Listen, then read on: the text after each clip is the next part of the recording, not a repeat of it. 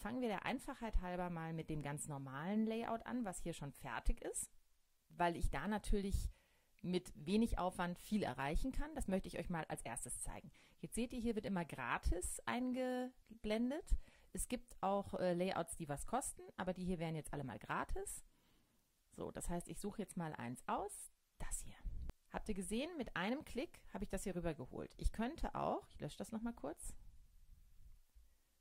das hier rüberziehen mit Drag and Drop. Okay, was kann ich jetzt machen? Ihr seht, wenn ich auf das Foto klicke, kann ich hier verschiedene Dinge tun. Und wenn ich auf die Schrift klicke, kann ich auch verschiedene Dinge tun. Das Interessante ist, dass ich jetzt hier in diesem Design, in diesem Layout, was ja fertig ist, eigentlich aber trotzdem alles an mich anpassen kann. Das heißt, ich könnte zum Beispiel sagen, ich verändere die Schriftgröße, ich verändere die Schriftfarbe, ich äh, verändere das Foto, ich lege da meinen Fotofilter drüber, ich schneide das zu. Also ich kann alles nochmal customizen, also an mich und meine Bedürfnisse und meinen CD-CI anpassen. Wie geht das? Gehen wir das mal der Reihe nach durch. Wir fangen mal an mit dem Foto im Hintergrund. Das klicke ich an. Jetzt seht ihr, ist das ausgewählt. Jetzt merke ich natürlich gleich als erstes, ich kann an den Dingern ziehen. Aha. Kann das also größer und kleiner machen, womit ich dann natürlich ganz andere Bildausschnitte hinkriege. Ich kann noch anfassen und schieben. Okay. setzen wir das mal so hin.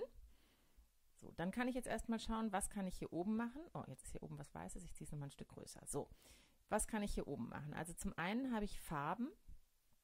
Das heißt, wenn ich da draufklicke, aha, sehe ich schon, gibt es eine Hintergrundfarbe. Das will ich eigentlich nicht, deshalb mache ich mal Steuerung zurück. Das heißt, ich gehe mal direkt weiter zu Filter. Da kann ich zum einen, wie ich das von Instagram und anderen Bearbeitungsprogrammen kenne, einen Filter drauflegen. Ich kann zum anderen die Intensität des Filters verändern. Und ich habe hier noch erweiterte Optionen, das heißt, ich kann noch die Helligkeit verändern. Das ist jetzt eigentlich wie in jedem normalen Bildbearbeitungsprogramm, seht ihr ja, da kann ich halt Sachen einfärben, verändern, Weichzeichner kann ich rausnehmen. Die Cross-Entwicklung, das ist, glaube ich, Blur und die Vignette. So, das müsst ihr einfach mal ausprobieren. Ich könnte hier auch, wenn ich mit einem bestimmten Filter immer arbeite, direkt den Filtercode eingeben.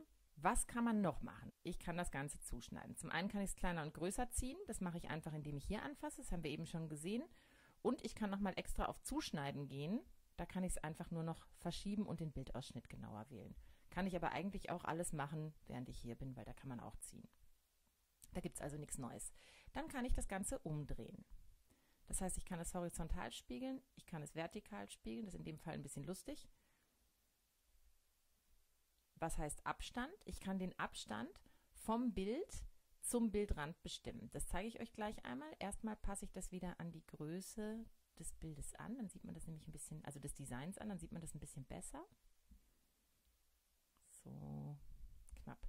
So, und wenn ich jetzt den Abstand nehme, dann geht es von außen nach innen wird quasi kleiner und bildet einen Rand. Das heißt, wenn ich außen einen luftigen Rand will, einen Abstand, dann kann ich das mit diesem Tool machen. Dann kann ich natürlich das Bild auch noch kopieren. Das heißt, ich habe es dann ein zweites Mal und könnte es zum Beispiel hier reinlegen. Hiermit kann ich löschen. Und jetzt habt ihr schon den Unterschied gesehen zwischen Bildlöschen und Elementlöschen. Ähm, das mit dem Element erzähle ich euch später.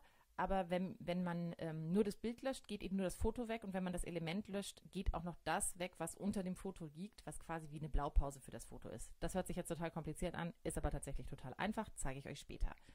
So, jetzt haben wir uns das hier einmal angeschaut. Wir können noch Sachen anordnen.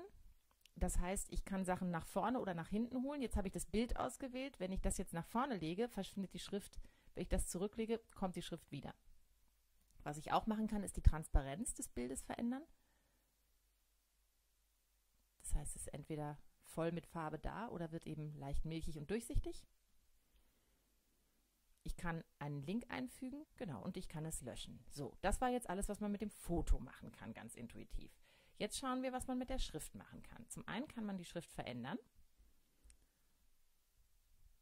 Wenn die dann wie hier zum Beispiel nicht mehr in den Rahmen passt, kann ich den Rahmen einfach langziehen und das anpassen und wieder alles nach Gefühl hin und her schieben. Ich kann die Größe verändern. Ich kann die Farbe verändern. Das sieht ja schrecklich aus. Ich kann je nach Schrift das Ganze bold machen, also fett, oder in Italics. Hier sieht man, Italics ist angestrichen. ist, äh, Italics ist eingestellt. So sieht es aus, wenn ich es fett mache. So war's. Dann kann ich mir überlegen, wo schiebe ich es hin? Ganz nach links, ganz nach rechts vom Rahmen oder mittig. Ich kann das Ganze klein stellen, also in Kleinbuchstaben und in Großbuchstaben. Jetzt war es schon in Großbuchstaben, deshalb hat es klein gestellt. Ich könnte theoretisch auch sagen, ich möchte eine Aufzählung aus einem Text machen. Wenn da jetzt mehrere Wörter stehen würden untereinander, dann wären mehrere Wörter in einer Liste. Und ich kann den Abstand verstellen. Das heißt einmal den Buchstabenabstand, ich kann das breiter ziehen oder auch die Zeilenhöhe. Achso, das sieht man jetzt natürlich nicht, weil es nicht verschiedene Zeilen sind, aber das mache ich mal kurz mit euch. Und zwar kopiere ich hier einfach nochmal rein. So, und wenn ich jetzt die Zeilenhöhe verändere, seht ihr das, rutscht die Zeile hoch und runter. Genau. Ähm, das Einzige, was ich echt nicht bedienen kann, fragt mich nicht warum, das ist auch relativ neu, ist dieses Verweistextfeld. Ich verstehe das nicht. Ich habe das jetzt auch nochmal recherchiert. Also ich werde euch stundenlang hier was über Canva erzählen, aber das hier lassen wir leider aus. Da weiß ich wirklich nicht, was das bedeutet. Wenn es jemand weiß, schreibt es mir äh, in den Kurs, in die Kommentare oder schreibt es mir persönlich, dann ergänze ich es sofort hier im Video und nehme den Teil einfach dazu auf und schiebe es dazwischen. Was kann ich noch tun? Ich kann ein Textfeld kopieren, indem ich hier oben auf Kopieren klicke, wenn ich es vorher ausgewählt habe, natürlich nur. Und jetzt machen wir mal die Schrift ein bisschen anders. Suchen wir uns mal eine dicke Schrift aus. So, ähm, ich könnte jetzt diese Schrift auch von der Transparenz durchscheinender machen. Was jetzt nicht so spannend ist, wenn sie da oben auf dem Himmel ist. Was aber spannend sein könnte, lasst mich das hier mal eben löschen, wenn ich sie unten drauf setze. Dann sehe ich nämlich den Hintergrund durch. So, seht ihr, das sieht ja schon ganz anders aus. So ist das also, wenn ich ein fertiges Layout benutze und darin etwas verändere. Was auch noch wichtig ist, dass ich hier eben größer und kleiner stellen kann. Manchmal braucht man das und ich kann mir mein Design auch immer im Präsentationsmodus anschauen. Dann habe ich wirklich gar kein störendes Umfeld. Genau, und über Escape einfach zurück. Jetzt zeige ich euch zum einen nochmal das Layout-Feld. Hier oben geht ihr da drauf. Ihr könntet jetzt auch immer sagen, dieses Layout gefällt mir nicht mehr, ich möchte ein anderes Layout nehmen. Ihr könnt aber auch sagen, ich finde dieses Layout eigentlich gut, zum Beispiel, keine Ahnung, die Schrift. Ich möchte aber ein anderes Foto. Und jetzt wird es schon spannend. Ich kann nämlich dieses Foto einfach rausnehmen. Und jetzt seht ihr, das ist quasi das Template, also das Fototemplate. Was heißt, ich will ein Foto reinladen. Und ähm, jetzt kann ich auf meine Uploads gehen und kann sagen, ich möchte ein Bild hochladen. Das heißt, ich suche mir jetzt ein Bild auf meinem Schreibtisch. Dann nehme ich dieses Bild, auswählen, das lädt hier hoch. Jetzt seht ihr hier dran, wie der Ladefortschritt ist und hier an dem grünen Balken auch. Das kann ich jetzt aber schon rüberziehen. So, und das legt sich dann rüber. Und jetzt seht ihr zum Beispiel, würde ich sagen, ach ja, ich fand die Schrift eben schön, aber jetzt passt sie nicht mehr, dann nehme ich sie entweder weg oder mache sie nochmal kleiner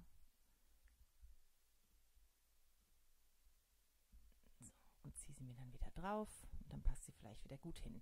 Und so kann ich halt relativ schnell meine Designs verändern und meine Designs mit eigenen Bildern bestücken. So, jetzt haben wir also einmal hier bei diesen Layouts was ausgesucht und das verändert. Wir nehmen jetzt nochmal kurz ein anderes, einfach um da sicher zu sein, dass wir das drauf haben. Und zwar dieses hier.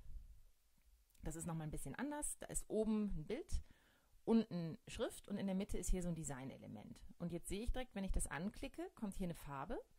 Das heißt, ich kann hier eine neue Farbe auswählen. Aha, und dann ändert sich das auch. Okay, verstanden. Und wir nehmen noch ein anderes, um schon mal zu verstehen, wie das hier funktioniert. Da könnte ich ja jetzt auch meine eigenen Bilder reinziehen. Das heißt, ich nehme doch mal das hier. So, und jetzt, da ich nur dieses eine Bild bis jetzt hochgeladen habe, machen wir das jetzt ganz einfach. Wir nehmen das einfach nochmal und dann seht ihr auch gleich, wenn ich da jetzt reinklicke, kann ich nur dieses eine Bild verändern. Und man kann mit einem Bild tatsächlich tierisch viel machen, je nachdem, wie man das zuschneidet und verändert. So, jetzt mache ich das einfach nochmal ein bisschen größer. Das ist gar nicht so einfach, weil ich habe gar keine Maus, sondern nur mein Touchpad. So. Und jetzt seht ihr schon, das ist eigentlich ganz cool, weil jetzt habe ich nur diese Teile aus dem Hintergrund genommen und die sehe ich zwar hier auch, aber hier könnte ich ja jetzt auch das Bild nochmal anders beschneiden dass ich die vielleicht nicht mehr sehe.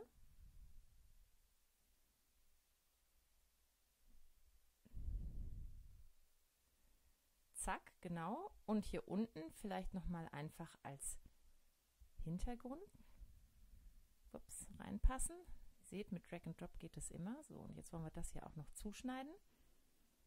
Und dass ich da jetzt einfach, wenn ich das mal ganz groß mache, vielleicht so ein Mittelteil nehmen kann. Hier. Noch ein bisschen größer. Dann nehme ich einfach den Hintergrund, dass das farblich sich so ein bisschen schön ergänzt. Genau, das ist dann auch ähnlich wie das. Jetzt könnte ich noch sagen, das ist mir zu ähm, ähnlich zu diesem Teil. Das heißt, ich spiegel das einmal und zwar vertikal.